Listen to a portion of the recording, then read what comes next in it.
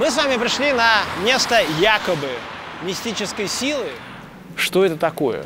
Это дождевые колодцы. Сейчас вы ни в одном доме современном таких потолков не увидите, да?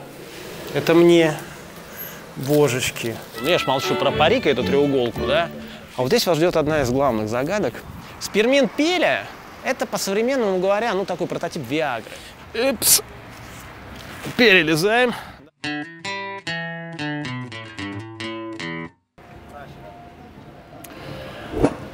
Ну что ж, вот и лето прошло. Почти прошло. И вот я со своей традиционной летней стрижкой, мне предстоит трип э, в Крым. Обычно мы ходим туда в июне, но вот из-за понятных причин перенеслось на сентябрь, поэтому я подготовился. Ну, плюс еще мы снимали видосик замечательный «Сбрей усы, оставь усы». Я под это все это дело и растил, все эти ракеты свои, все эти бороды. Очень огненный будет видосик, но речь-то сегодня не об этом. Мы находимся с вами на Васильевском острове, возле станции метро Василиостровская. Именно здесь разворачиваются события фильма «Брат», которые я не перестаю цитировать, потому что для меня это знаковое кино. Э, вот там за ним располагался тот самый рынок, э, куда Данила Багров, одев свой стильный берет и прекрасные очки, э, пришел устраивать разборки. Двор, в котором он скрывался, вы уже знаете, где находится. Вот если пойти туда, прямо по Среднему проспекту и повернуть в Тучков переулок и затем налево, там будет, собственно, этот самый двор Кишка. А мы находимся с вами рядом с памятником, который здесь установлен был несколько лет назад. Это памятник Конке. Во-первых, э, обратите внимание, что здесь у нас э, товарищ машинист, э, он держит специальный такой, знаете, ручку газа. Это кнут вот этой ручкой газа, соответственно, менялась скорость лошадей. Но здесь лошадки не такие, достаточно приличные. Обычно это были такие, ну, бедные несчастные клячи. И вот эта конка, она, можно вот ее с этой стороны обойти, где поменьше людей. Она действительно была воссоздана в натуральную величину. Вот эта верхняя часть называлась «Империал». Туда вот по этой лестнице не, рекомендовал, не рекомендовалось подниматься женщинам по той простой причине, что можно было увидеть, о-ля-ля, кусочек ноги. А это было, знаете, все равно, что сейчас голый выйти на улицу. Хотя некоторые, знаете, и этим занимаются периодически. Там проезд стоил 3 копейки, внизу стоил проезд 5 копеек. И наоборот, всевозможным рабочим и солдатам как раз э, надлежало именно там, на Империале, ездить. Поэтому в дождь, снег, слякоть им было не очень хорошо.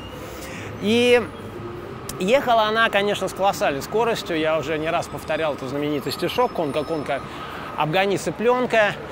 Запустили конно-железную дорогу в 1863 году. У общества конно-железных дорог был заключен, ну, как бы мы сейчас сказали, эксклюзивный договор с городом на, перево... на перевозку пассажиров. И, как я уже говорил в одном из своих выпусков, который я снимал зимой, стоя прямо по центру реки Невы, напротив Петропавловской крепости, когда был запущен трамвай, точнее, когда он был благополучно э, испытан и выяснилось, что это прекрасный вид транспорта, то выяснилось, что ему негде ходить. Поэтому вот если мы сюда переместимся, здесь на этой мемориальной табличке написано, что Санкт-Петербургская конка является родоначальницей электрического трамвая, основного, основного общественного городского рельсового транспорта. Так вот, вот то, что трамваю-то негде было ходить именно из-за этой конки, здесь не сказано. И поэтому, как вы помните, может быть, если вы смотрели мой выпуск, трамвай прошел э, по льду Невы впервые. Ну, на всякий случай я здесь помещу хотя бы одну иллюстрацию. Я каждый раз показываю ее из своих фотоальбомов. Пойдемте дальше. Здесь у нас находится пешеходная улица. Как плохо, что я забыл очки в машине. И теперь мне солнце в глаза. Но скоро мы нырнем во дворы, вот уже буквально. Эта пешеходная улица была разбита, я помню, когда даже. Она изначально была проезжей. Сейчас одна из самых уютных пешеходных улиц вообще города Петербурга. Тут растут вот такие прекрасные зеленые творения. И обычно люди выходят и идут прямо. Ну, потому что им куда-то надо, они торопятся. Мы же с вами будем сегодня петлять, потому что основной профиль конкретно данных моих экскурсий – это проходные дворы, но, как вы могли заметить, бывают и исключения. Нет, вот сюда мы не пойдем, потому что сюда мы потом выйдем вот туда. И это будет у нас другой маршрут. То есть я потом проведу проходными дворами насквозь, вот так, вдоль Среднего проспекта. А наша задача пойти не на Средний проспект, а вдоль пешеходной улицы. Поэтому мы нырнем вот сюда. Здесь у нас будет сначала такой достаточно благоустроенный проход. Здесь огромное количество всевозможных торговых лавок. Когда я здесь водил экскурсии, естественно, сразу большие глаза. Вот очень часто меня спрашивают вот про такие вещи. Для чего нужны вот эти вот штуки? Или вот эти вот штуки. Дело в том, что э, в каждом архитектурном элементе, а мы сегодня увидим самый огненный архитектурный элемент для любителей жидомасонского заговора, это будет мой подгон персональный.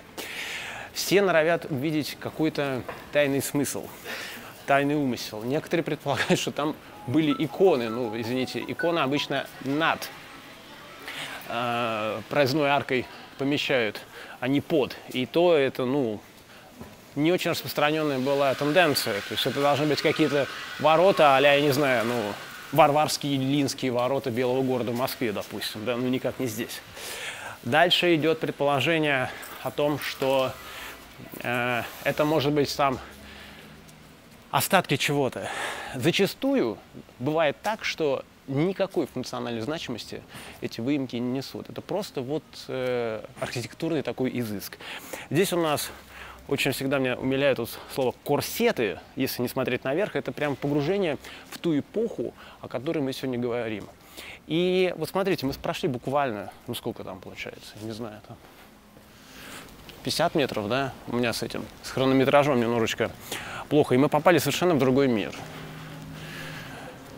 Опять-таки наш типичный Петербург с нашими типичными Туда мы не пойдем. Хотя мы можем туда пойти, но мы туда не пойдем. У нас сегодня с вами другая задача. С типичными петербургскими приколами. Это задние дворы с огромным количеством подсобных помещений. Сначала я вам покажу то, что стало уже мемом Здесь мне даже уже не надо вам объяснять, что это такое, да, вентиляционная шахта от бомбоубежища, традиционный наш элемент, очередной закуток счастья. Но заметьте, что на самом деле в данном случае, что, когда есть солнечный день, этот закуток счастья даже выглядит не так депрессивно. Хотя, конечно, если оказаться здесь в ноябре, то все-таки вот тем людям, которые живут окнами сюда, не позавидуешь. С другой стороны, тишина, никакого это голдежа, потому что здесь, конечно, на пешеходной улице, особенно в эпоху тотального кваса летнего, да, бывает очень шумно. Здесь огромное количество ресторанов, мы некоторые из них сегодня увидим. Поэтому это все так соу-соу. И есть масса подсобных помещений. Вот, казалось бы, это современный гараж, да? Видите, такие здесь двери. Но посмотрите наверх, видите, торчат трубы прямо из этого гаража. То есть это еще дореволюционная постройка, потом переоборудованная перед, под современный гараж. Это было пристроено. Вот еще одно подсобное помещение, сохранившее, можно сказать, аутентичный вид. Здесь мы можем видеть то, что вот называется как раз-таки связь, да, идет полоса через все строение, и оно его связывает, чтобы оно не рассыпалось. И мы с вами сейчас опять выйдем на пешеходную улицу, вот из этого относительно тихого двора. Я вам буду продолжать показывать элементы народного творчества. Смотрите, какая прелесть. Что она означает, я не в курсе. Кто ее написал или нарисовал, я тоже не в курсе. Но она есть. Вот здесь, кстати, тоже видно, как был настроен этот дом, идет карниз, то есть он изначально был четырехэтажный, вот эта двухэтажная нахлобучка явно позднего происхождения. Выходим.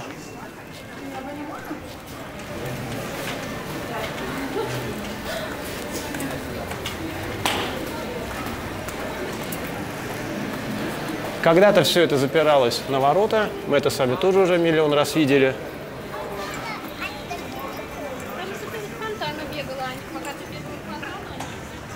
И вуаля, мы снова здесь. Но ненадолго. Васильевский остров связан с жизнью огромного количества известных людей, и более того, эта линия связана с э, жизнью огромного количества творческих людей. Например, Илья Ефимович Репин здесь э, сменил аж два адреса. Про один из них я расскажу, когда мы пойдем ну, в ту сторону. Он жил в доме номер 41. Там был один из первых его адресов, э, связанный с его семейным счастьем. Женился он на Швецовой. Вот, кстати, о птичках. Вот если сюда приблизить, здесь мы даже, может быть, увидим отражение оператора Лехи. Вот мы как раз видим, как едет конка. А? Мы? Тайные масонские знаки. А, да, все. А, да. Да, да. А что вы хотели, чтобы мы сняли? Какие у вас тапочки, кстати, зачетные? Да.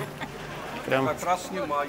Да? Да, можно снять? Вот отли... хорошие Очень тапочки. хорошие тапочки. Я, Да, я такие... Могу продать. Не, вы знаете, не надо. Они обычно воняют очень сильно. Нет, они не воняют. Нет. Нет, вот, просто... вот это воняет. Вот эти резина, воняют? Да. Ну, это не резина. А это не воняет. Ну, хорошо, ладно. Я, по- я вам поверю. Два таких здоровых работать надо. они Два таких здоровых работать надо, они ходят, да. Э, Я работал. Работал.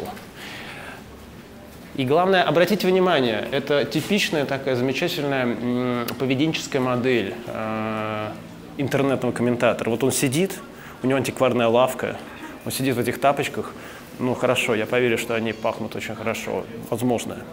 А, И говорит, что вот два таких работать надо. Сам-то прям пот у него с лица катится. Но не нам судить людей, на самом деле. Вполне возможно, что когда-то, ну, как у меня, да, я же тоже не сразу стал вот э, ходить э, под камеру, что-то вещать. Когда-то я у станка стоял и грузчиком работал. Вот недавно как раз я тут с одной знакомой вспоминал, как, например, я работал на демонтаже зданий, потому что у меня сейчас лежит, ой, э, происходит ремонт э, дома, вот старых процентчиках, где я живу. И я с утра слышу вот эти ахаля маля ля ля ля и прямо в окно у меня эти люди стучатся. Я вот просыпаюсь и думаю иногда, да, все-таки хорошо, что я сейчас не на стройке, потому что было время, когда я вставал и ехал на стройку. А вот наш очередной двор. Ну вот там вот пошла киса, ну, мы ее сейчас не увидим, она причем домашняя. Вот так вот народ спасается в такую погоду без кондиционеров, с открытыми окнами. И вот, э, вот сюда вот вид. А из этих окон вид ой, вот сюда. Но зато, зато, видите, зелени нет, поэтому создадим зелень самостоятельно. Это очень круто, я считаю. Приятно и человечно. Сейчас мы освободим путь нашему оператору.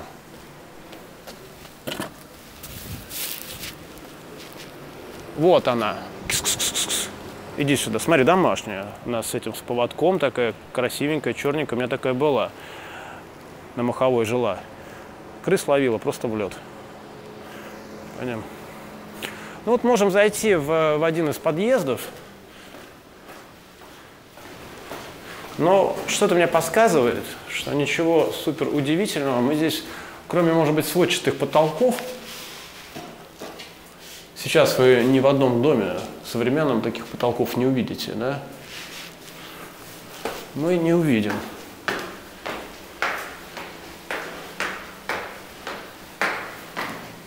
Но зато довольно приятная атмосфера домашняя.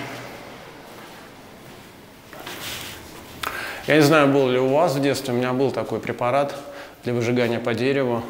Вот таким препаратом, видите, здесь написано, кому сколько звонить. То есть это опять коммунальная квартира. Вот. Даже кто-то постарался. Это народное творчество. И смотрите, вот здесь вот у нас уже советское производство, но сохранились еще старые шпингалеты.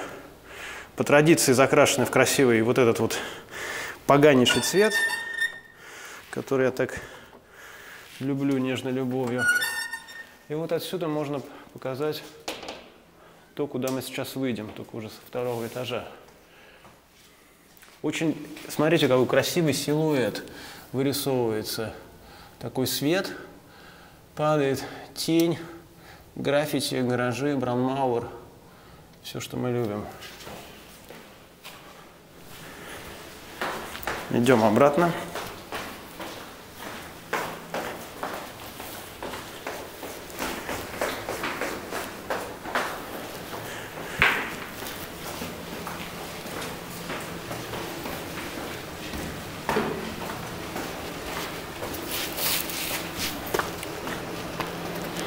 Как тебя зовут, моя хорошая? Дай-ка я прочитаю. А, так ты он, ты Федор. Федор.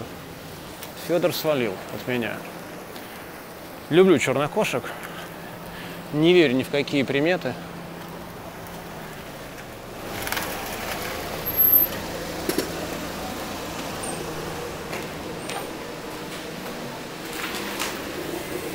Это мне, божечки, кошки. Натуральные, кстати. Натуральные цветы. Цветочки. Ну, оставим, может, кому-то еще пригодится.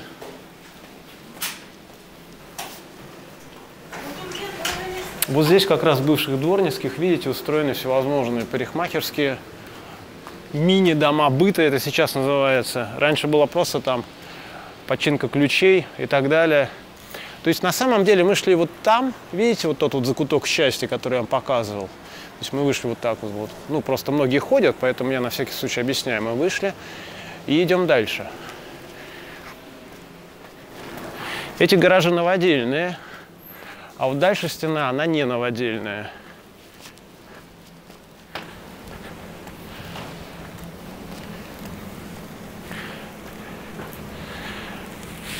Вот эти постройки сохранились у нас еще с дореволюционных эпох. И вот смотрите, какой замечательный, опять-таки, отсюда открывается вид. Типичный Петербург. А вот здесь вас ждет одна из главных загадок. Ну, вот прекрасный Брандмауэр. Это бывшие, вот это точно, а, конюшни бывшие. Мы сейчас увидим, как они выглядят с другой стороны.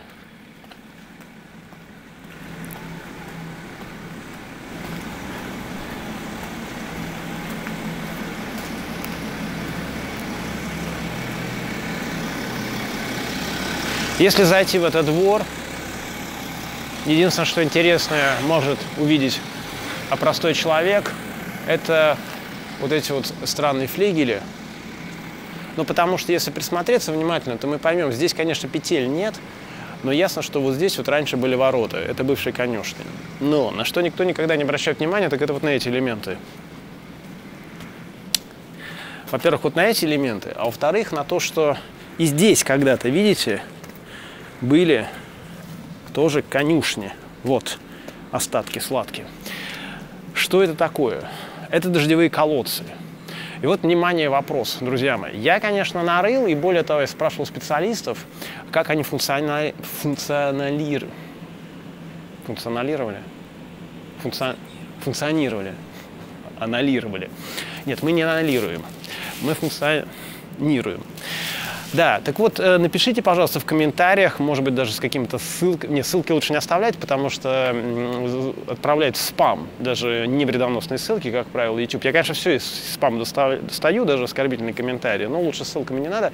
Значит, э, просто, может быть, на какие-то источники информации, как они функционировали, в чем был их главный принцип. Потому что сколько я сюда экскурсантов не вожу, ни один человек мне так нормального, внятного ответа и не дал. Вот здесь у нас еще одна, кстати, петля сохранившаяся.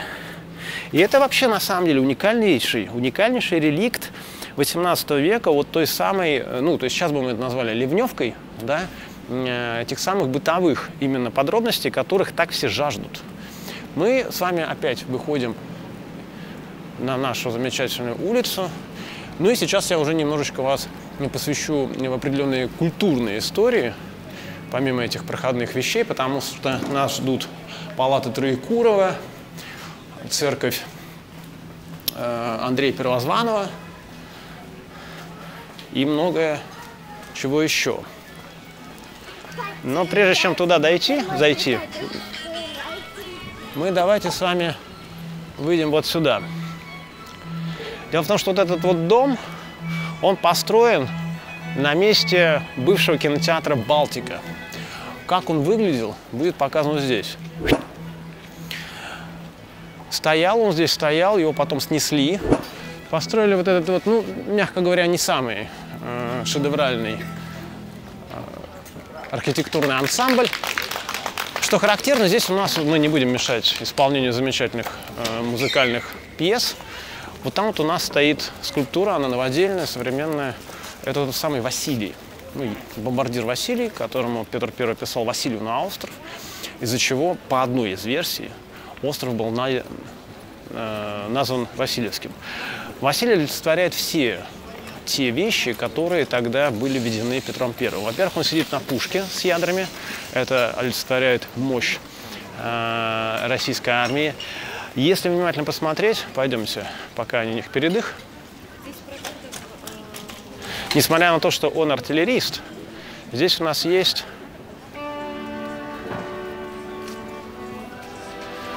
морские символы. Да? Это не Мазерати.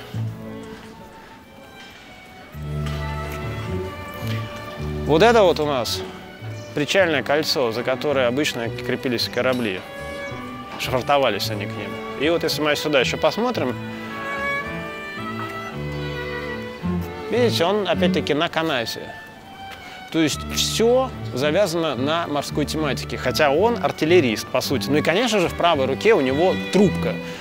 Трубка, то есть это то, что на самом деле в до Петровскую эпоху быть не могло. Ну, я ж молчу про парик и эту треуголку, да? Тысяча чертей и моя треуголка. Ой.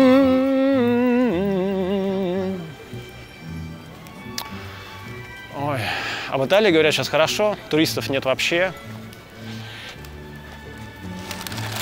Вот здесь традиционная у нас история с э, вывеской Леха, ты пока сними. Сними вывеску пока, я буду отсюда вещать. На самом деле сюда можно пойти, попасть через э, э, ту часть, о которой мы с вами говорим.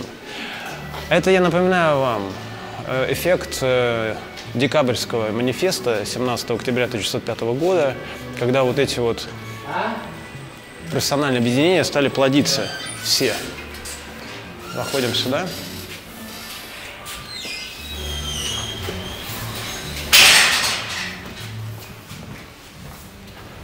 Что-то у меня такое ощущение, что в прошлый раз я их по-другому водил свою группу, потому что мы здесь выходили. Вот давайте сюда пойдем. То есть, как видите, дворы, кстати, внутри тоже не менее зеленые. Да, мы не выходили там, мы прошли бы здесь и вышли бы здесь. Точно. Ну тогда пойдемте сюда сходим.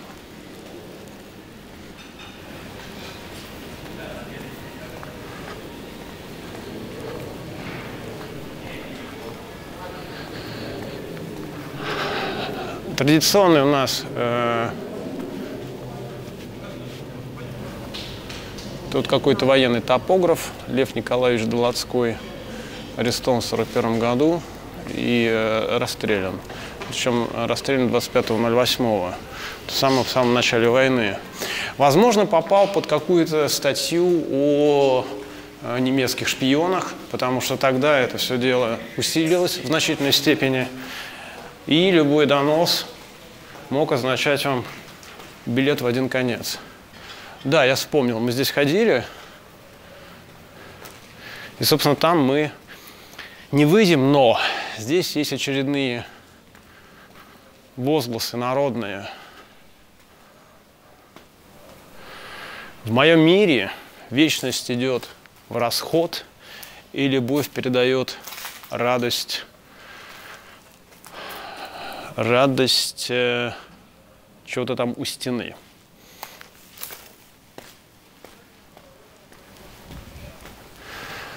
Ну и куда же нам без горящих девочек? 24 на 7. Петербург очень славен своими вот этими надписями отдых и прочее. Вот это вот очередная галерея, которая соединяет два флигеля. Это опять-таки было сделано для того, я не знаю, для чего здесь это при, при, принято. То есть вообще в нормальных домах это сдел, делается для того, чтобы жители этого флигеля не чувствовали себя лицами второго сорта. Потому что, как правило, вы входите через уличную парадную дверь и поднимаетесь по парадной лестнице, потом по этой галерее переходите внутрь. Но здесь, поскольку это и так флигель,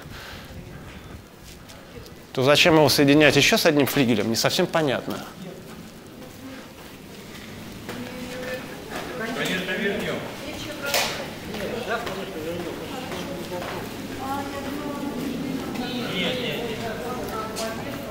То есть, видите, здесь вот вы входите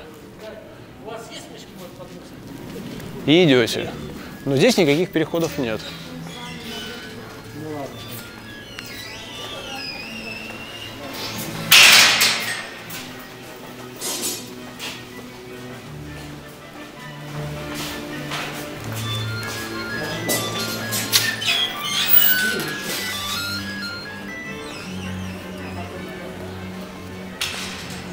И вот мы наконец подходим к э, действительно историческим объектам.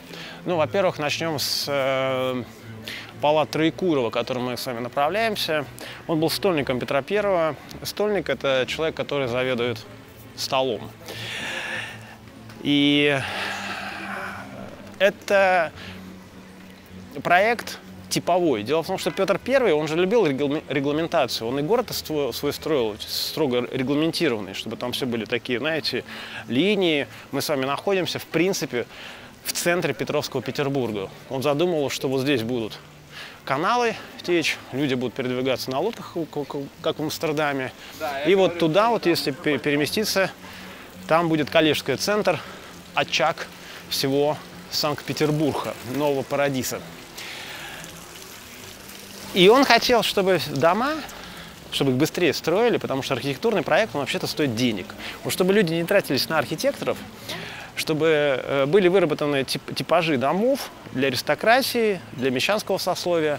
И вот по этим типовым проектам они бы и строились. Вот один из таких типовых проектов как раз вот здесь. Сейчас у нас тут э, ресторан сети Гинза. А до этого вот это был, э, здесь жил вот этот стольник Троекуров. Эта часть называется мезонин. На э, каменном э, подклете, полуподвале он был построен, потому что сами эти дома, я напоминаю, они все с деревянными перегородками. А затем здесь э, был майор Соковнин, и его ординарцем 20-летним был Александр Васильевич Суворов. То есть здесь проходила его молодость. Если мы перейдем вот сюда, у меня будет вторая часть экскурсии э, мистика Петроградки. То здесь мы увидим дом по проекту архитектора Крыжановского. Он прекрасно зажег на Петроградской стороне. Здесь этот дом довольно сдержан. Туда, кстати, тоже есть проходные дворы, но мы не пойдем. И э, здесь э, в парадных подъездах сохранились витражи. Но вот это типичный образчик э, такого доходного дома конца 19 начала 20 века. Если мы посмотрим вот на те порталы, то увидим, что в углах там такие э, то ли вееры, это можно трактовать, то ли э, решетки, то ли, может быть, даже паутинки. Это архитектор нам показывает некий замысел, который мы должны допетрить сами.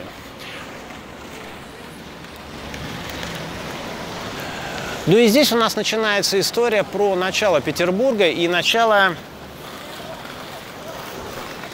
концептуального Петербурга. Дело в том, что Петр ввел еще такое понятие, как орден, которым он награждал своих наиболее отличившихся не только полководцев, но, как вы знаете, он ввел систему табелей о рангах, то есть и гражданские лица могли получить орден за свои какие-то деяния.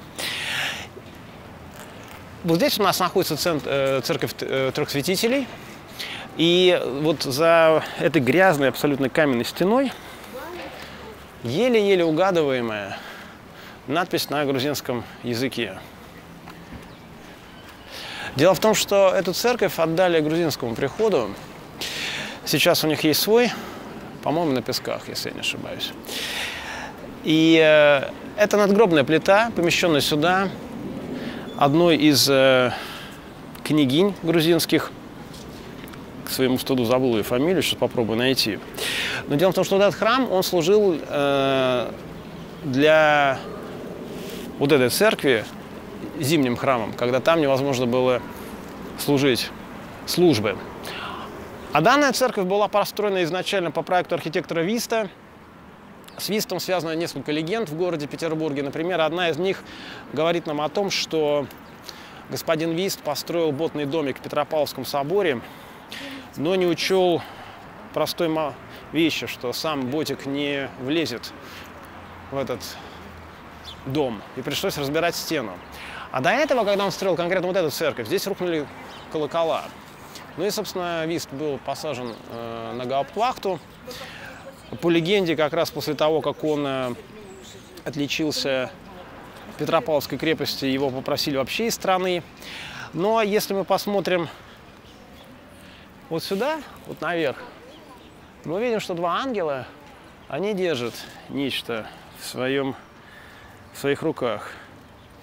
Сейчас я попробую найти эту надпись, которая, да, вот.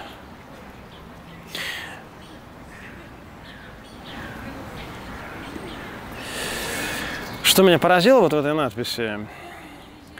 Любезные братья мои, я была в этом приходящем мире дочка хитинского князя Оберга гофмаршала Джарджадзи, Джарджадзиева и получила при святом крещении имя княжны Гуки. Ну, дальше идет э, то, что она жила-жила. Иностранка, я, купив на деньги свои это место для моего приличного погребения, положено в земле в церкви святого апостола Андрея, не оставил детей, которые молились бы за меня. Меня поразило то, что на могильной плите они пишут о том, что я купила это место. То есть, как бы для нас это сейчас очень странно звучит, но в то время это было нормально. Так вот, по поводу Андрея Первозванного. Ну, вы знаете, что по ряду сведений. Он почему первозданный? Потому что его Иисус Христос первым позвал, да, его и Петра, и э, помните эту песню «С причала рыбачил апостол Андрей, а Спаситель ходил по воде». Я досмотрел недавно интервью с Вячеславом Бутусовым, где он говорил, что когда он вообще пришел к э, Кормильцу, автору всех его, э, ну не всех, большинства текстов группы Наутилус Помпилиус, то встретил, встретил с большой Библией в руках. И потом сам Бутусов начал этим делом интересоваться. И он сказал, что его радует, что эта песня, она с годами приобретает иной смысл. По преданиям, апостол Андрей у нас проповедовал в Крыму среди скифов, а потом он поднялся и вообще основал город Киев – да, не, не так, как нас учили в, в школах. Это приписывается апостолу Андрею. И вообще он даже оказался в свое время в Новгороде. Именно поэтому он э, был довольно зна ну, знаковой персоной для Русской Православной Церкви и для России в частности. Потом его мощи еще перекочевали в Шотландию, откуда у нас вот этот странный крест. А почему он такой? Потому что его распяли вот на именно таком кресте буквой X. И э, когда встал вопрос о том, э, какой орден учреждать первым, вот Петр I придумал, собственно, орден Андрея Первозванного. Там он и изображен у этих ангелов. И здесь у нас за этой церковью есть у нас бюст самого первого кавалера этого ордена. Дело в том, что Петр I конечно, отличался определенной скромностью, но, например, он заказал себе памятник при жизни, но ему хватило, конечно, ума и так-то себя орденом первым не награждать. А наградил он другого человека, к которому, собственно, сейчас и подходим – и здесь у нас как бы водораздел нашей экскурсии, потому что если здесь у нас были в основном проходные дворы, то дальше у нас начинается тема а мистический Петербург и мистический Васильевский остров и все вот эти вот художественные истории, связанные с территорией вокруг Академии художеств.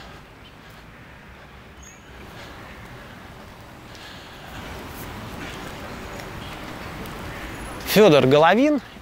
И вот, собственно, сам этот орден. И к ордену всегда была орденская лента. Она была голубого цвета. Ну, здесь, понятное дело, не видно, да? Голубая орденская лента. И это долгое время был самым престижным, самым привилегированным орденом. Если вы были им награждены, то, собственно, у вас все в шоколаде.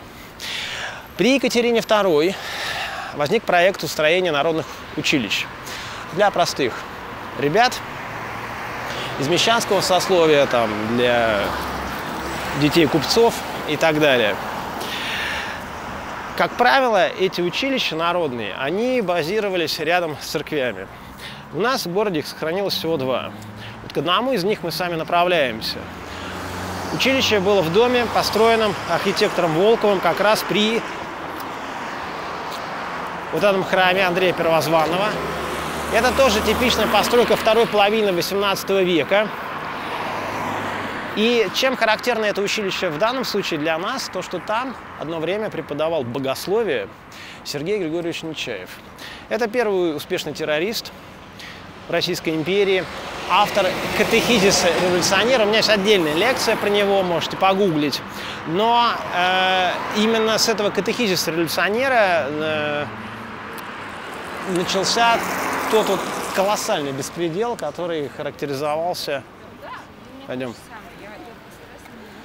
нашими общественными деятелями как самая настоящая охота на представителей верховной власти. Вот там вот оно располагалось, вот в том самом доме. И обратите внимание, что Нечаев преподавал закон Божий. И дело в том, что закон Божий, он был, то есть э, это была единственная школа, скажем так, пиара и коммуникации, когда вы учили э, катехизис, только не революционера, а я имею в виду нормальный катехизис, потому что вас там обучали как раз общаться с паствой. Это было крайне важно. И именно в Петербурге Нечаев понял, что ему надо делать карьеру среди революционеров. Он там начал жечь напалмом, придумал, что его похитили, увезли в Петропавловскую крепость, и он оттуда даже посылал всякие записочки, сам он никакой Петропавловской крепости не сидел. Сейчас я вам покажу вот здесь пару картинок, давай перейдем сюда, как вообще вся эта местность выглядела во времена, ну, скажем, Михаила Ломоносова. Вот сейчас будет одна картинка, конкретно этот перекресток, и сейчас еще одна картинка. Здесь у нас находится Андреевский рынок, а мы с вами подходим к месту, довольно знаковому для любителей всевозможных мистических тем. Дело в том, что у меня с собой есть книжка, которую я сам и выпустил.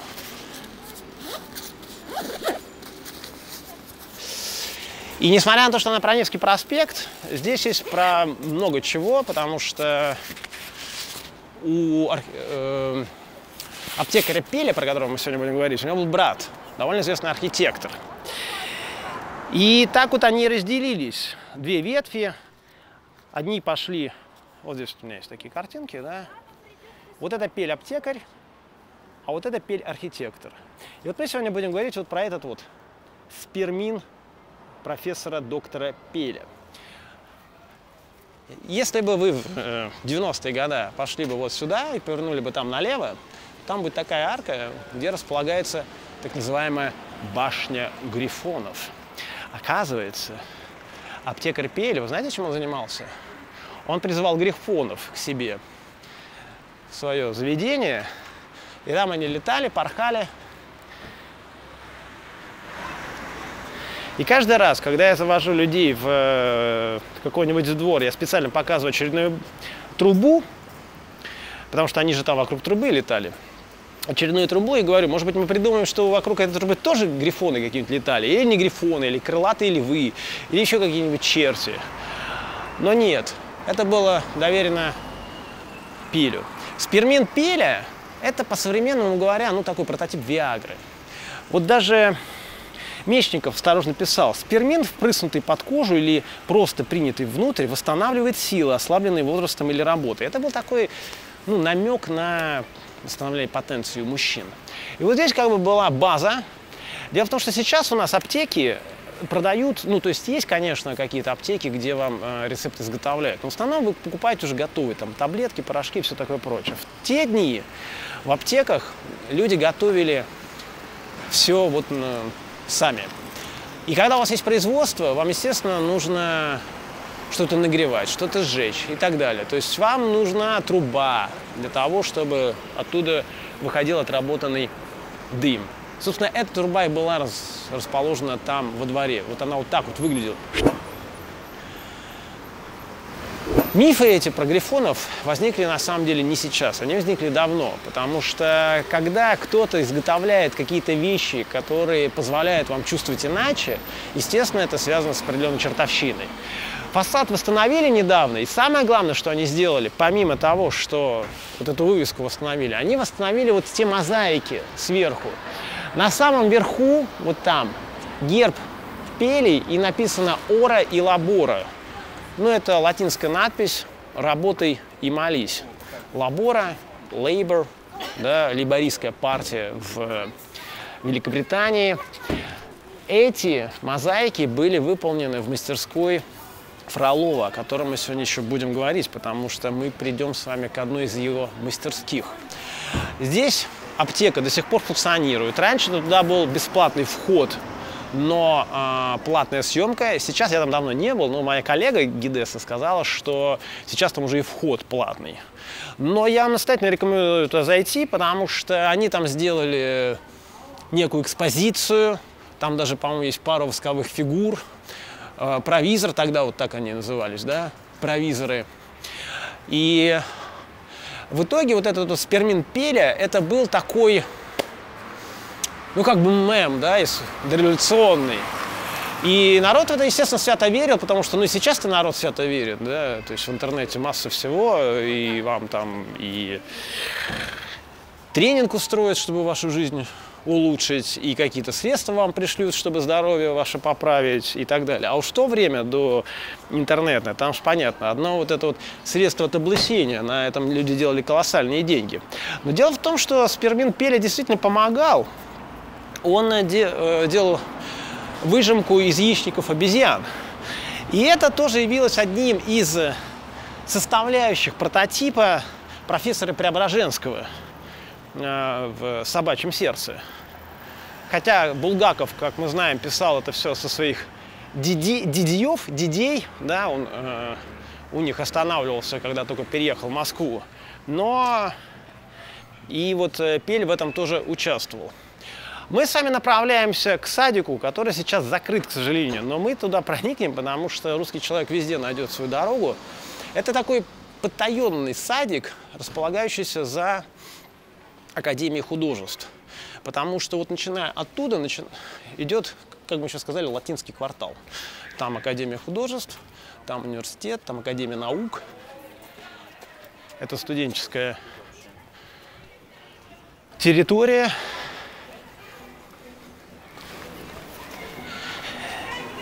Но для того, чтобы туда попасть, надо будет проявить смекалку. Нам к этому не привыкать.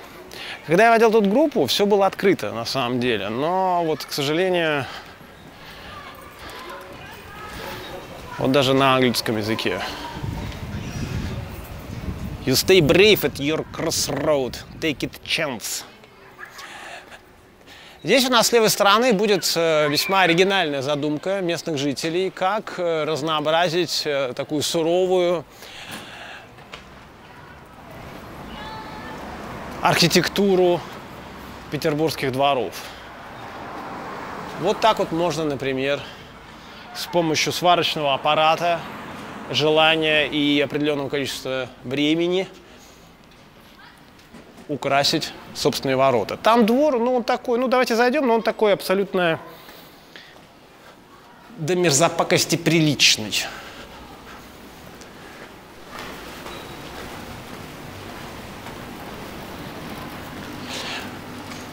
Вот здесь, на самом деле, когда окна выходят в такой двор, я думаю, это уже не столь проблематично. И несмотря на то, что здесь оп, гуляет эхо, и соседи примерно в курсе, кто чем живет, но он не столь депрессивен, как некоторые другие.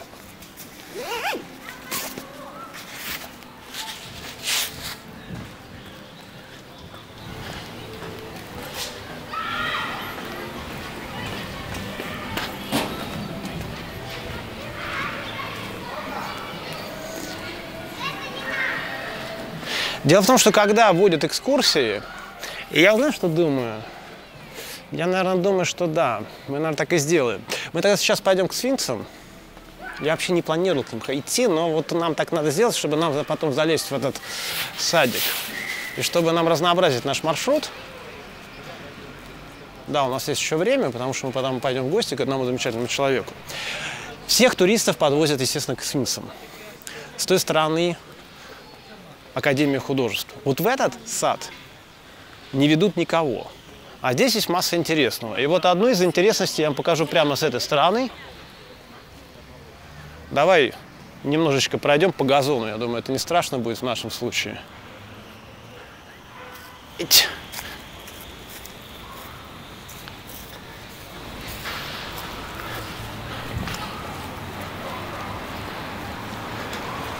Студенты, они ведь, э, ну, художественного вуза, они должны писать, как вы понимаете, натюрморты, они должны писать огромное количество людей, существует класс натурщиц, и они должны писать, естественно, животных. Где хранить животных? Большой вопрос. Но в Академии художеств вышли из положения. И вот если мы посмотрим на это здание вот с этой стороны, оно как бы ни на что не намекает. Я специально вам показываю с этой стороны его. Но мы на него посмотрим с другой стороны. Видите, там куча подрамников в окне торчит с неким намеком. И в нормальное время суток и года и прочих историй, вот здесь вот калитка, и она открыта. И хотя тут написано «выгул собак запрещен», естественно, все этих собак выгуливают. Академия художеств была построена по проекту архитектора Кокоринова и Валена де Ламота, или де Лямота, как у нас говорят некоторые искусствоведы, ну, потому что он француз, соответственно, Лямот. Кокоринов начинал при э, Иване Ивановиче Шувалове. Они очень быстро нашли язык. Шувалов был таким э, сердечным другом Елизаветы Петровны. И именно Шувалов был инициатором устроения Академии художеств. Именно Шувалов был инициатором устроения Московского университета, хотя он назван именем Михаила Ломоносова, тоже заслуженно, но про Шувалова там ничего не сказано. И был ему дан в помощь Вален де Ламот, француз. И проблема в том, что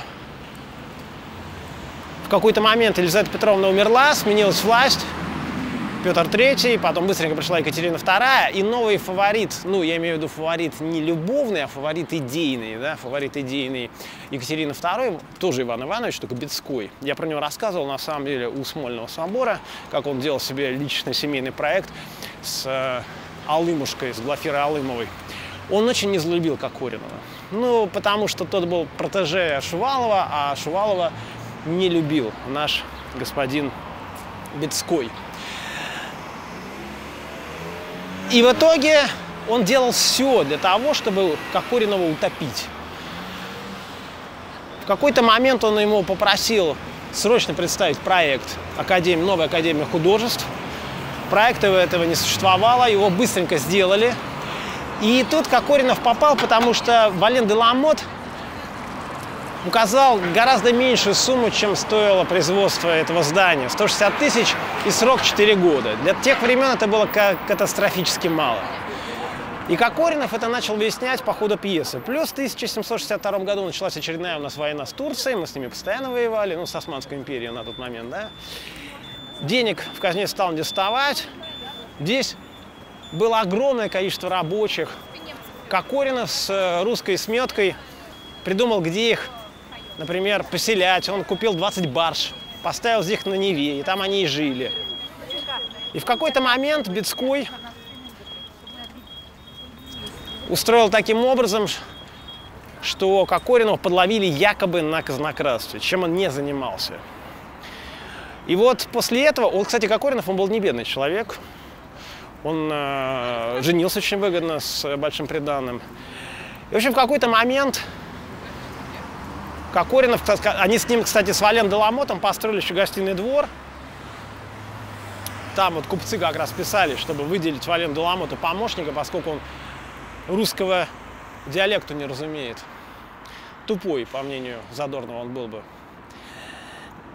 И в итоге возникла легенда, что Кокоринов здесь же на чердаке этого здания и повесился, о чем вещают все гиды, которые сюда приходят. Но дело в том, что в метрической записи Смоленской церкви есть информация о том, что Кокоринов был похоронен на кладбище. А самоубийц, как вы знаете, Русская Православная Церковь не хранила. Мы с вами пришли на место якобы мистической силы. И если мы откроем записки Николая Гумилева, о которых мы еще сегодня будем говорить, то в них мы найдем описание его похождений в Африке. Дело в том, что сейчас съездить в Египет, ну, для вас, это там какой-нибудь Шарм-эль-Шейх, Хургада, All Inclusive, да, сели, полетели, приехали, жаритесь на солнце. В то время Африка была совершенно неизведанным краем, ну, по крайней мере, для людей в России живущих. И э, в, своих, ну, в своих потом путевых записках Гумилев писал, они спустились в какую-то там гробницу очередную, мне стало так грустно, как никогда еще не бывало, чтобы рассеяться. Я подошел к стене и начал разбирать полустертую географическую надпись. Ну вот, например, вот эту. Она была написана на очень старом египетском, много старее луврских папирусов. Только в Британском музее я видел такие письмена. Но должно быть благословение задумчивой жабы, прояснило мой ум. Я читал и понимал, читал и понимал. Это не был рассказ о старых битвах или рецепт приготовления мумии. Это были слова, полный сладким пьяным огнем, которые ложились на душу и преображали ее, давая новые взоры, способные понять все. Я не знаю, как там Гумилев что понимал. Я смотрю на это ничего не понимаю. Я вижу птичек, но не те, которые сверху сидят, а вот здесь. Всяких э, существ, клинопись, это все называется и так далее. Это Аминхотеп, третий, по-моему, если вам нужна эта информация, не знаю, как вы ее примените. У меня есть отдельная, на самом деле, лекция по поводу мистики Петербурга, мифов и фактов. Этих сфинксов вообще-то купили во Франции, но у них тогда случилась революция, поэтому наш посланник Муравьев, который послал весточку самому Николаю II, ну, он в Академии художеств написал, а те переслали Николаю I, извините очень долго ждал ответа, и вот пока он ждал, французы купили, ну, революция, соответственно, о-ля-ля. Изначально здесь должны были стоять кони Клотта.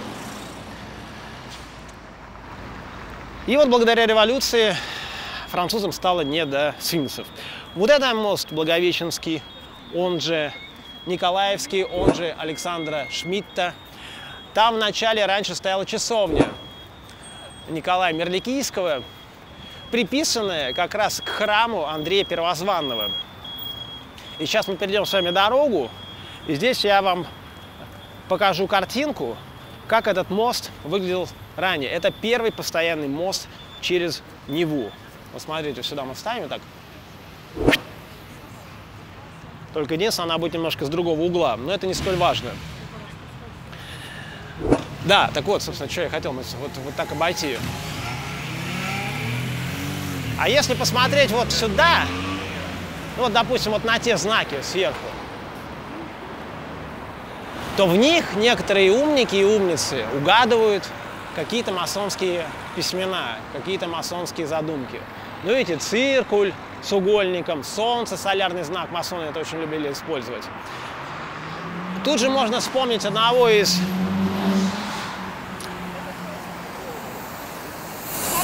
как бы сейчас сказать, президентов Академии художеств Лобзина. Вот я сейчас покажу вам портрет Лобзина. И обратите внимание, что в нижнем углу, о-ля-ля, мы видим опять-таки масонские знаки. Но дело в том, что это очередной раз, это двойная коннотация символа. То есть, ну это Академия художеств. В Академии художеств люди используют, вы не поверите, и циркуль, и угольник, и солнце там, в общем-то, почему бы не находиться. Поэтому для правильных людей это масонские знаки. А вообще, на самом деле, ни, никакому масонству это отношение не имеет. Но вот Леонид Мацих, или Мацих, ныне покойный в Бозе, почивший в Бозе, извините, вот он считал, что это исключительно масонское место, тут и сфинксы. Там еще сверху, на самом деле, на куполе находится, ну, отсюда не видно, наверное, да и фиг с ним, я просто картинку вам покажу, как это выглядит. Там находится Минерва с э, еще очередным сфинксом. Кстати, гиды, когда сюда приводят, они задают загадку. Сколько сфинксов вы вокруг видите? Ну, все видят два, и говорят, два. А вот там еще на шлеме у один сфинкс. Ее, кстати, сколотили. Я и Академия художеств очень долгое время была без этой скульптуры, потому что был шанс, что она обрушится и задавит. Например, я вам покажу картинку вот такую. Это Академия художеств с скульптурой наверху. А вот это вот без нее. И восстановили ее не так давно. Вот там садик, про который я отдельно скажу. Там стоит обелиск румянцевым победам, который раньше располагался у нас на Марсовом поле.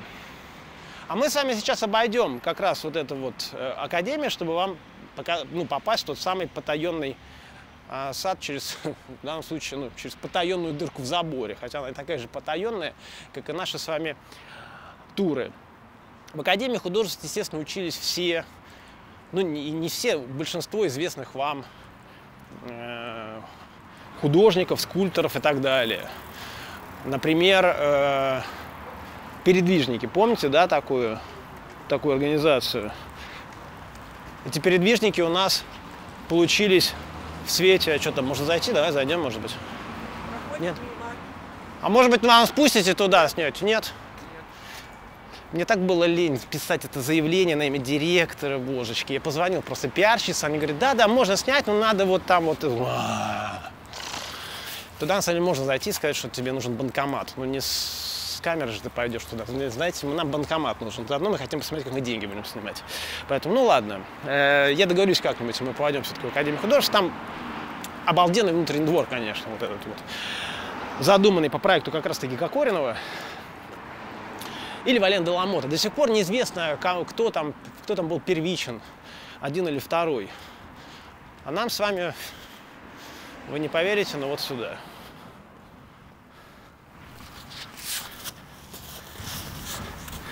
Ой, не знаю, пролезешь ли ты, мой дорогой друг. Но мы не ищем легких путей.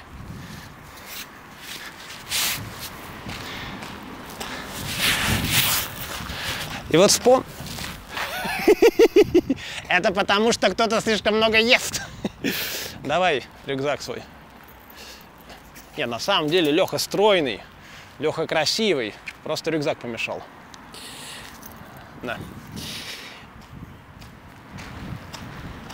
Ну, во-первых, здесь есть совершенно не архитектурные элементы, опять-таки реликты войны. Вот посмотрите, видите, там, где э, молодой человек сейчас отъезжает у нас с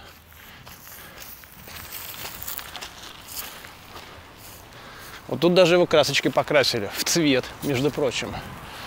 А вот там уже никакой красочкой его не красили. Это все тоже э, шахты. Ну вот к этому зданию мы еще с вами подойдем. Вот. То есть вот так вот оно выглядит с этой стороны. Это вообще мастерская, э, где э, рисовали, писали лошадей и всевозможных разных животных. И именно поэтому здесь конюшня. То есть это для многих, на самом деле, большое открытие, что оказывается, можно обойти Академию художеств и увидеть здесь пони, лошадок и так далее. Ну, естественно, они там даже как-то пытаются ну, на этом деньги зарабатывать, их можно понять, потому что надо содержать, там катают и так далее. Там у нас памятник основателю осетинской поэзии, потому что он учился в Академии художеств в конце 19 века.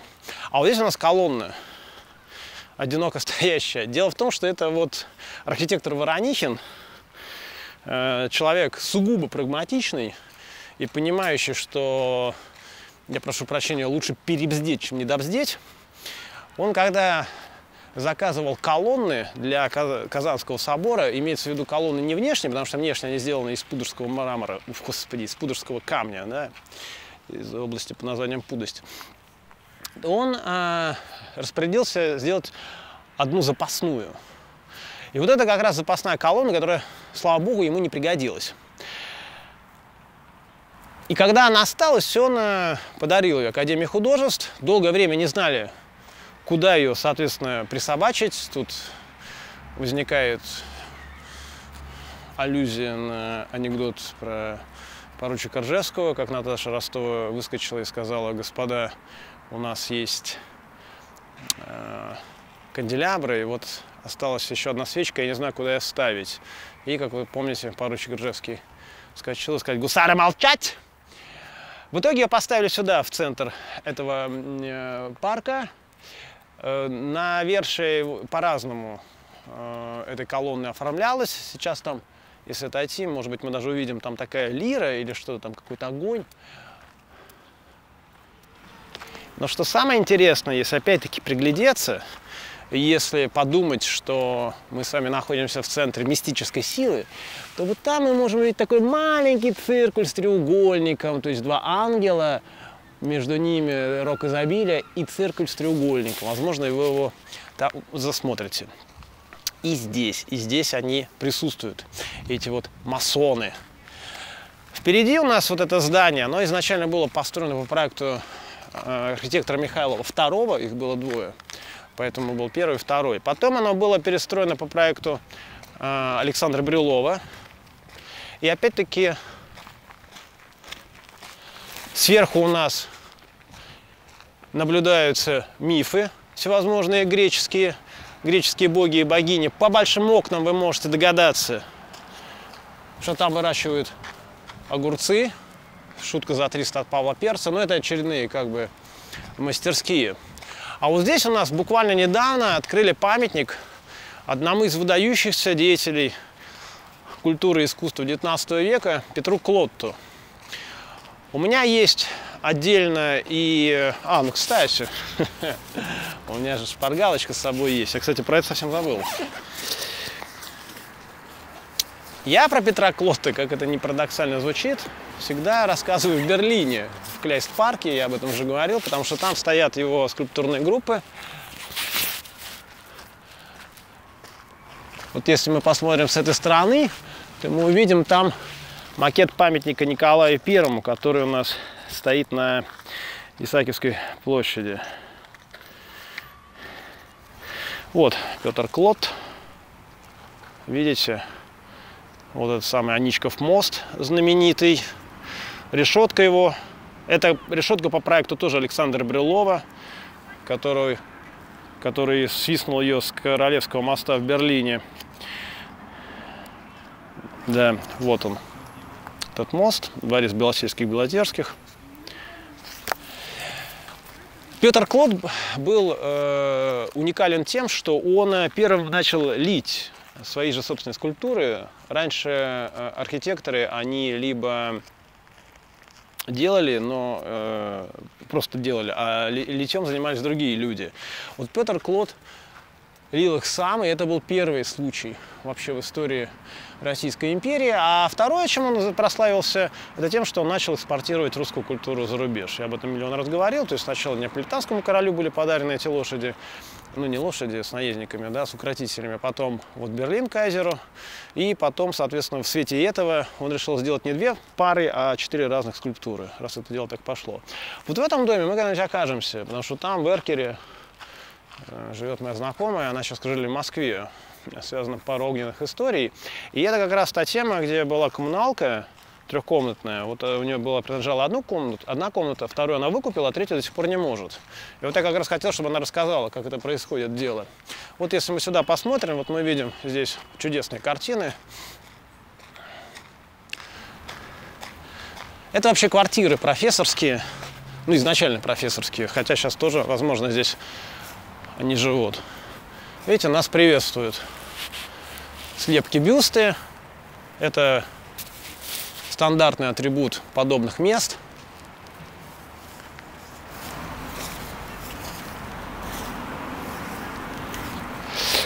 А вот это здание слева, это мастерская мозаичная. Дело в том, что вот этот самый мозаичист Фролов одну из работ которого, ну не его, а его мастерской мы видели на фасаде аптеки Пеля. Он начинал еще до революции. То есть вот, например, особняк на Малой Никитской в Москве, э, где потом жил Горький, да, по проекту Шехтеля. Вот это его мозаики. Далее э, в Марфо-Мариинской обители храм, построенный по проекту Щусева с подгона художника Нестерова. Там его мозаики. В Петербурге спас на крови. Ну, что я просто все сейчас не упомню на самом деле, да, но он потом продолжал в советское время э, делать. И, конечно, самая большая и потрясающая история связана со станцией метро Новокузнецкая. Дело в том, что в 29 году у него была мастерская на Большом проспекте. Его выселили оттуда, ну, потому что какого хрена работаешь. И он перебрался вот сюда, полностью сам переоборудовал эту мастерскую, починил ее как мог и э, продолжал выполнять заказы для советской власти. И наборные панно, которые можете видеть на Новокузнецкой, вот наверху там самолет, еще ряд замечательных мозаик, он заканчивал уже блокаду. Работал здесь уже абсолютно еле видящий, полуслепой. Э, зимой в неотапливаемом помещении собирал эти панно. Они были отправлены э, по дороге жизни, и в итоге Фролов умер от голода, э, закончив этот проект. И это, конечно, мега концептуально и ну, я как бы уже об этом говорил неоднократно. Есть такая тенденция, что типа, а зачем в блокаду такими вещами заниматься, и вообще не о том речь. Но дело в том, что есть такое понятие, как моральный дух, который помогает выжить. И вот такие вещи, они спасали советский народ. Благодаря таким вещам он и выжил, потому что было понятно, что если в такое суровое время, в такую суровую годину можно даже мозаики производить, то этот народ никак не победить, что и произошло. Ипс. Перелезаем. Давай.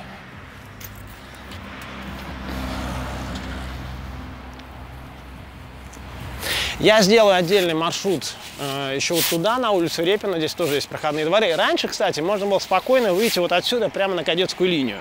Но проблема в том, что сейчас кадетской линии все перекрыто, потому что когда я, собственно, в годы своей молодости ходил, делал наденький шкаф вот туда, э, будучи столяром по профессии, то я ходил вот этими проходными дворами с Кадетской. Сейчас перекрыто. Я тут все объездил. То есть на Репина, это у нас такая самая узкая улица в Петербурге, на Репина можно пройти, на Кадетскую, увы и ах.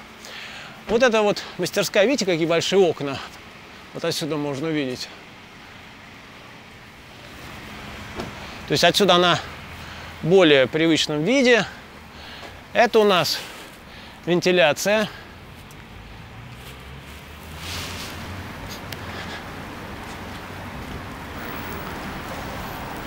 Ну а дальше начинается комплекс домов, предназначенных для...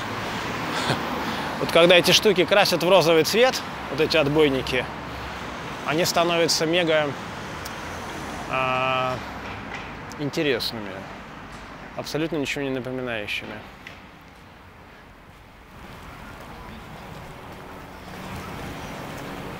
Сейчас тут видите Центр научных учреждений РАХ, Российская Академия Художеств. Ну, обычно в нормальное, конечно, время вот эта калитка открыта, и там калитка открыта, и можно спокойно как бы ходить. И на самом деле, когда я здесь водил экскурсию буквально там месяц назад, она была открыта, вот эта калитка, мы проходили через нее. Но видите, сейчас, а сейчас она тоже открыта.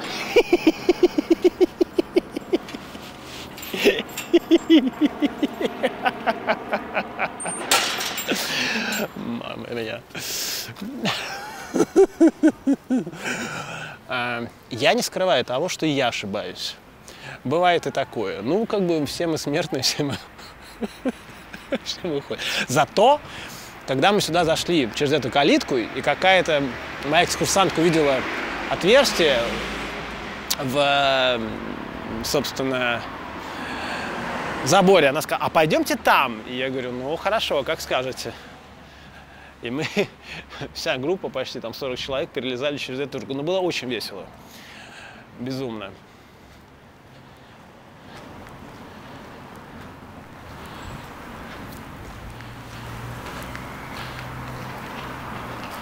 Здравствуйте, а вы здесь живете? Здесь по-прежнему у нас проф- про- профессорские квартиры, да, при Академии художеств?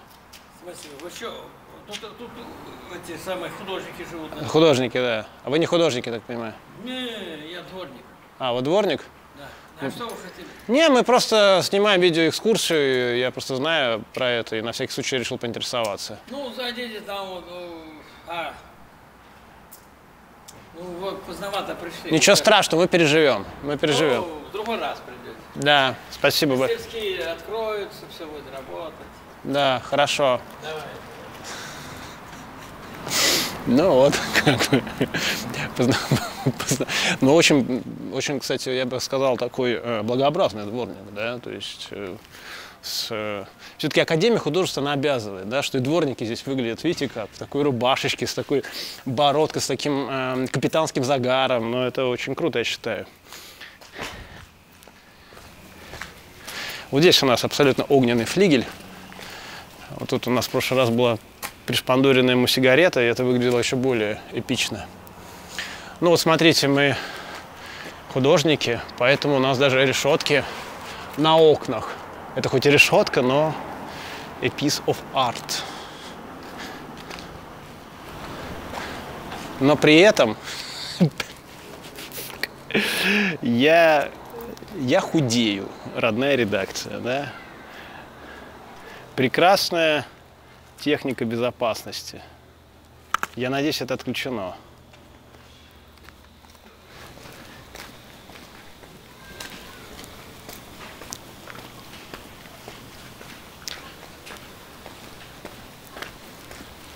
Вот здесь вот смотрите, какой уютный закуток.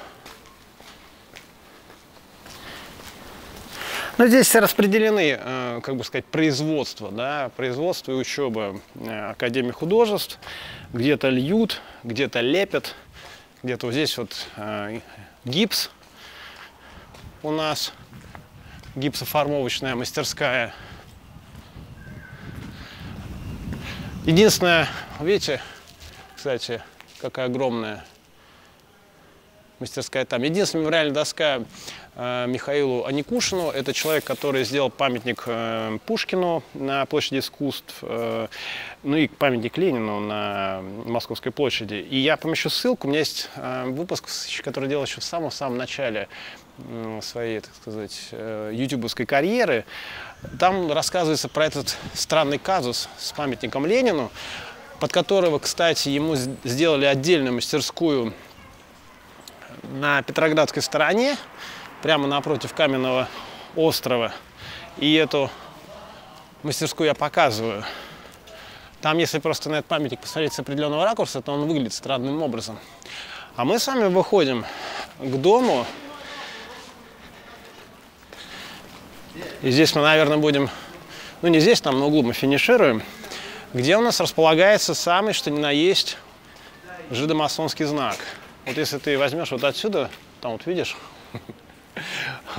пентаграмма и какая-то чертяга. Вот нам Юра Молотковец пишет, что он будет через 17 минут, поэтому можем не торопиться. Очень странная на самом деле история э, в наше время выглядящая. В то время это тоже был ну, довольно странный знак, потому что я хочу вам напомнить, что в 19 веке эта пентаграмма, она не имела отношения к еврейству, это был древнехристианский знак, но помещать в этой христианском знаке вот такого вот черта, это, знаете ли, нужно иметь определенный определенный задор. А это явно какой-то черт. Это, не знаю, вак, это какой-нибудь... э,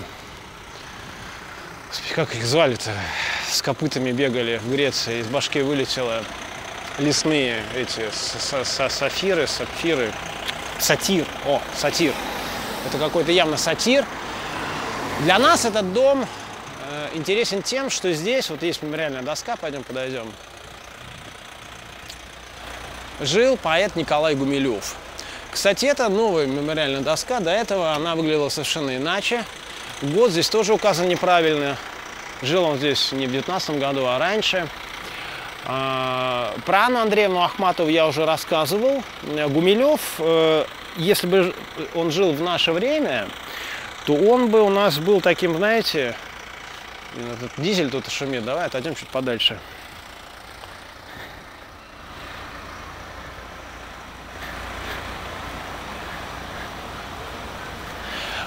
Вот он бы был как Том Йорк из группы Radiohead. Он бы пел песню I'm a creep, I'm a widow. То есть он был вот с косым глазом, он был худощавый, какой-то не, неказистый, абсолютно некрасивый. В школе его все чморили, из-за этого родители его оттуда взяли, у него было домашнее воспитание. Он, э, естественно, был дико закомплексованным человеком. Соответственно, если ты дико закомплексованный, если ты вот такой, надо как-то себя воспитывать. И Гумилев умудрился себя воспитать. Он э, с детства вот мечтал о каких-то похождениях э, и так далее. Э, и действительно, он отправился в первое путешествие в Африку, хотя папа сказал, никаких денег я тебе на Африку не дам.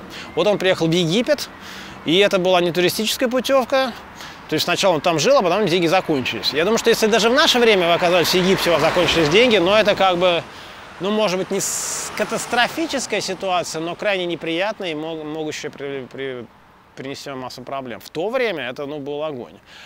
Тем не менее, он вернулся оттуда немножко возмужавший. Он несколько раз сватался к Анне Горенко, или Горенко, по-разному называют ее фамилию, Анна Андреевна Ахматова. Она ему отказала один раз, она ему отказала второй раз. Каждый раз он пытался покончить с собой, каждый раз неудачно. А на третий раз он добился успеха. Но э, если изначально вот Гумилев писал про себя «дерево да рыжая собака, вот кого он взял себе в друзья, память, память, ты не сыщешь знака, не уверишь мир, что то был я». И здесь показана та трансформация, которая с ним произошла. То есть из такого вот захмыреныша, вот из такого вот крип, да, э, ну, я думаю, что, кстати, Том Йорк тоже сейчас, я думаю, не обламывается от э, своей музыкальной карьеры. Он превратился вот, ну, в рок-звезду того времени. Не было тогда британской рок-музыки, да, и вообще никакой рок-музыки не было, поэтому э, в роли рок-звезд выступали поэты Серебряного века, да, но главной рок-звездой был Александр Блок, там, я не знаю, какой-нибудь помесью, я даже не знаю, кого там, Земфиры и кто у нас там сейчас, ну, в общем, была Зинаида Гиппиус, да, Земфира и Пугачева, наверное. Э, странный микс, но я имею в виду в медийном отношении. Вот. А Гумилев, вот он был вот такой вот, да, немножко фриковатый, э, придумал свой стиль акмеизм, э, с которым выступал против декадентов, против той, той же самой Гиппиус. Брюсов ему очень сильно покровительствовал. И в итоге он, когда началась Первая мировая война, он записался, записался добровольцем на фронт. Там он проявил себя просто мега отчаянно. Он получил два Георгиевских креста. Он был повышен, повысь, повышен в звании два раза, получил там младший офицерский чин. И, в общем, он э, стал мужиком. Вот прям таким мужиком, отважным. Единственное, что он бравировал там, под пулями стоял, это глупость откровенная, но вот время было такое. И когда сменилась власть, он э, начал, вот знаете, демонстративно вот, ходить по улицам, креститься на церкви, хотя был взят антирелигиозный ди- э, вектор в новой идеологии. Он открыто заявлял, что он монархист. И в итоге был так называемый заговор Каза, господи, Таганцева, э, по которому его схватили и расстреляли. И вместе с ним еще, по-моему, 63 человек. А сварганил это все Яков Агранов. Сейчас э, по новым э, исследованиям левых историков они доказывают, что заговор действительно там какой-то был и так далее, и что и Яков Агранов, может быть, не шибко там был замешан. Но суть в том, что этот самый Агранов, например, от, он вообще изначально был в партии социалистов-революционеров, он эм, от армии откосил. То есть он не собирался воевать нигде, что не помешало ему потом делать карьеру в спецподразделениях при советской власти. И он вот говорил про интеллигенцию, что это, вот, я не помню точную цитату, но что это вот такая вот э, нога, которую нужно то ли отжечь, то ли, то ли в общем, отрезать. Но надо ли мне говорить, что в 1938 году эта самая нога в виде Якова Агранова сама была отрезана и сожжена. Его расстреляли, да, то есть э, вот э, такая откровенная сука, которая, значит, э, подтасовала данные, и, в общем-то, с расстрела Гумилева всем стало понятно, что все, можно лавочку прикрывать, и либо ты как бы дышишь, дышишь в дуду, в которой нужно дыш, э, дудишь в дуду, в которой нужно э, дудеть, либо сваливай из страны, потому что, ну, как бы будет нехорошо, да. Э, и что интересно, Агранова так и не реабилитировали, вот этого, он был личным секретарем Ленина, на секундочку, в какой-то момент. Ни его, ни его непосредственного начальника Егоду пытались предприниматься попытки по его реабилитации, то есть нет, он был враг народа, и врагом народа и остался. Вот какая, опять-таки, ирония судьбы. Ну, если Агранов, как бы, у нас э, никаких, как бы, стихов не писал и так далее. Кстати, из э, гимназии пытались Царскосельской очистить Гумилева, но Анинский тогда, директор, вписался и сказал, ну зато какие стихи он пишет. И действительно, Гумилев у нас остался, вот ему висит мемориальная доска обновленная, а Агранова никто не помнит и не вспомнит никогда, кроме каких-то очень э, тонких ценителей определенных нюансов нашей истории. Но здесь мы имеем э, дело с очередной вот жесткой иронией судьбы, да, то есть всегда есть какая-то обратка. Если ты э, уничтожаешь поэтов, если ты уничтожаешь деятелей культуры, ну, будь добр, дружочек, получи и распишись. Судьба сама тебя вознаградит за это. А мы с вами идем ну, к нашему финальному аккорду. Это Андреевский рынок. И здесь у нас на этой стороне есть, э, не показал там одну вещь, но я покажу ее, в, э, наверное, не покажу я да, финишируем я знаю где. Здесь у нас есть ряд иллюстраций, которые, ну это как бы, как сейчас это, court, да, то есть такое старославянское слово называется. Здесь у нас есть ряд иллюстраций, которые показывают рынок, ну не Василиостровский. Вот это, вообще-то, это сенной рынок. Это спас на сенной у нас, снесенный в 60-х годах. Вообще она Успенская церковь ну, называлась Спасом на Сеной. Вот это здание Кардигардии, вот здесь вот пароли крестьян. Вчерашний день часу в шестом зашел на Сеную, там били девушку кнутом, кнутом крестьянку молодую, Некрасов. А это павильоны, вот раз, два, и был третий вот этот вот. Он, они построены по проекту Иеронима Китнера. Это был такой достаточно большой прорыв для того времени. И вот вам храм Андрея Первозванного. И обратите внимание, что вот на том бульваре, которым, на котором сейчас памятник Головину, раньше тоже стояли рыночные корпуса, обувь и галоши. Вот галоши это было крайне важно, потому что раньше было столько грязи, что если вы без галоши выйдете на улицу, то ваша обувь превращалась моментально в ничто. А вот эту картинку я тоже вам показывал, ребятки. Это рынок, вот если мы, вот здесь вот стоит дом, где жил Федор Михайлович Достоевский, а это кузнечный рынок, бывший, вот до того, как его перестроили в советское время. Там метро, соответственно, Владимирская. Это кузнечный переулок, а это нынешняя улица Достоевского. То есть эта картинка у вас уже была. Мы так вот потихонечку, помаленечку спрессовываем информацию. Это у нас Сатиневский проспект, Леонский кредит, напротив гостиного двора, об этом у меня тоже есть в моем путеводителе, я сейчас даже найду. То есть, если вы более-менее в теме, то вы, глядя на эти картинки, начинаете понимать, где и что происходит. И мы с вами выходим на Большой проспект и идем туда, где, собственно, наша экскурсия и закончится.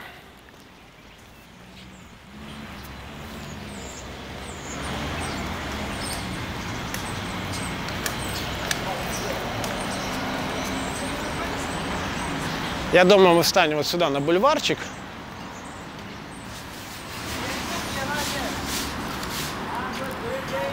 Где у нас тут наш Ленский кредит? Должен быть. Дом Суворина. Это раньше, раньше, раньше. Вот он, Леонский кредит. Здесь у меня вот такая вот фотография, видите? Леонский кредит. Ну что ж, друзья мои, вот э, вам э, очередная порция всевозможных интересных проходов по Васильевскому острову на этот раз. Э, хочу сказать, что вот эта вещь, она пока закончилась. Ее можно купить только на моих экскурсиях, но я буду э, допечатывать тираж, когда не могу сказать. Э, у меня будет большой отъезд в Крым в сентябре, но в сентябре будет масса экскурсий в городе Москве. И в Петербурге они по возможности тоже будут э, продолжаться. Значит, э, следите за анонсами, которые есть у меня, соответственно, в группе ВКонтакте, в Инстаграме, на сайте. Задавайте ваши вопросы, пишите комментарии. Если я где-то опять что-то сморозил, то ну, указывайте мне. А я мог, я в этом мастер, у меня шестой разряд по смораживанию всякой фигни. Оператор Леха будет указан внизу, вот там вот вот. Спасибо вам за внимание. Увидимся. Пока.